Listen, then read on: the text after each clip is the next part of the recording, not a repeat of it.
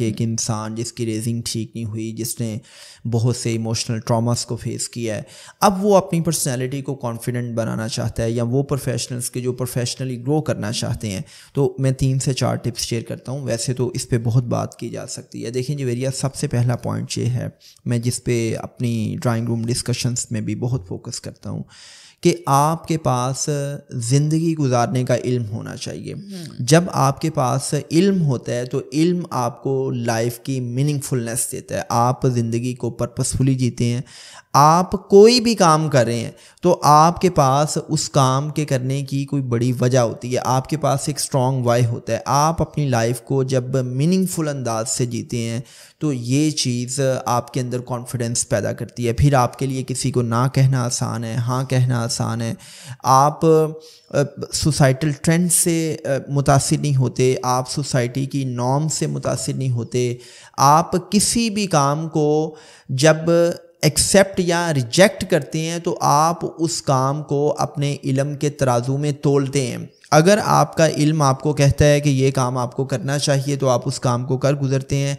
और अगर आप समझते हैं कि ये काम मुझे नहीं करना चाहिए तो आप उस काम को नहीं करते। हम्म। इसकी सादा सी मिसाल ये है कि एक वो इंसान वो लड़की कि जिसके पास प्रोडक्टिव नॉलेज आ चुका है जिसके पास ऐसा इल्म है जो उसको नफ़ा देने वाला है।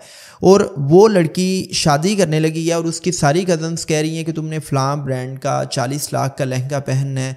लेकिन वो लड़की कहती है कि मैं एक ऐसा फ़ंक्शन जो दो से तीन घंटे का फ़ंक्शन है, उस तीन घंटे के फ़ंक्शन के लिए मैं दस, बीस, तीस लाख का लहंगा क्यों पहनूं कि जिस लिबास को पहन के मैं कंफर्टेबल नहीं हूँ, जिस लिबास को पहन के अगर लेट्स से कि जी मेरे पीछे को कुत्ता पड़ जाए तो मैं भाग नहीं सकती। तो मैं उस लिबास को क्यों पहनूं? एक लड़का शादी करने लगा है और शादी पे उसके कज़न्स और सोसाइटी उससे ये एक्सपेक्ट करती है कि वो एक लेविश किस्म का वलीमा वलीमा करे, वो एक बड़ी लेविश किस्म की रस्म हिना करे। लेकिन वो लड़का अपने इलम के तराजू में इस सोसाइटी की नॉम को या ट्रेडिशन को देखते हुए रिजेक्ट कर देता है तो वो इंसान जो है वो बहुत बड़ा इंसान होगा। बिल्कुल। तो मैं कहता हूँ कि अगर आप अपने अंदर कॉन्फिडेंस पैदा करना चाहती हैं तो आपको साहब इल्म होना चाहिए। आपके पास ज़िंदगी गुजारने का इल्म होना चाहिए कि ज़िंदगी के कितने चैप्टर्स हैं ज़िंदगी की कितनी डोमेन्स हैं आपने उन डोमेन्स को किस तरह लेके चलना है उनमें बैलेंस किस तरह लेके आना है। फिर आपके लिए बहुत आसान होता है कि आप आ, किसी को ना कह सकें किसी को हाँ कह सकें। इसमें मैं ये कहना चाहूँगा कि इल्म जो है ना, इल्म इल्म और इन्फॉर्मेशन में फ़र्क है। आज के दौर का बहुत बड़ा मसला ये है कि आज के नौजवानों के पास मोबाइल फ़ोन की वजह से एक्सेस ऑफ़ इंफॉर्मेशन है। इतनी इन्फॉर्मेशन है इंफॉर्मेशन की बरमार है, लेकिन नॉलेज नहीं है।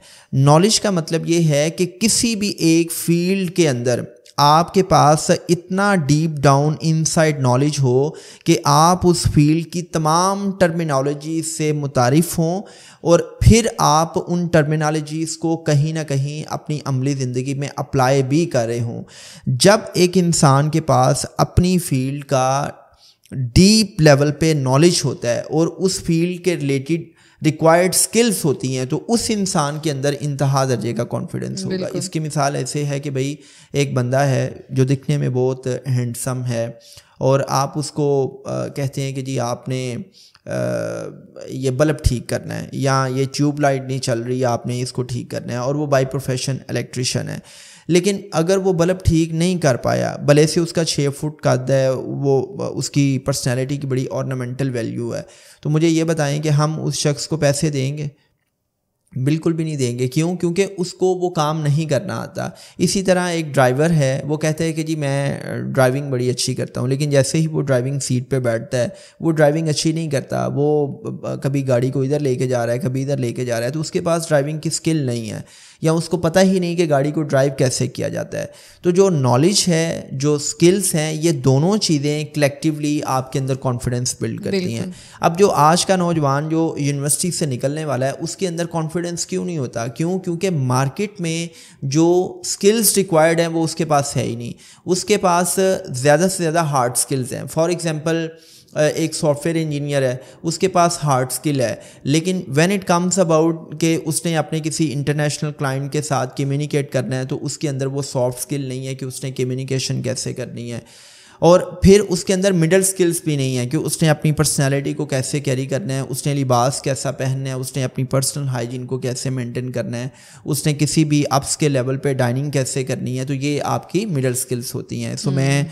हमेशा एक बात किया करता हूँ कि वो इंसान कॉन्फिडेंट होगा जिस इंसान के पास हिल में नाफे होगा जिस इंसान के पास ज़िंदगी को गुजारने का कोई मीनिंग होगा जो अपनी लाइफ को मीनिंगफुल अंदाज से जिएगा जिस इंसान के पास अपनी फ़ील्ड के रिलेटेड डीप डाउन लेवल का नॉलेज होगा और वो उस नॉलेज को अप्लाई करना भी जानता होगा। और जिस इंसान के पास हार्ड स्किल्स के साथ साथ सॉफ्ट स्किल्स और मिडल स्किल्स होंगी, वो इंसान अपने कॉन्फिडेंस को बेहतर करेगा और वो एक कॉन्फिडेंट लाइफ गुजारेगा।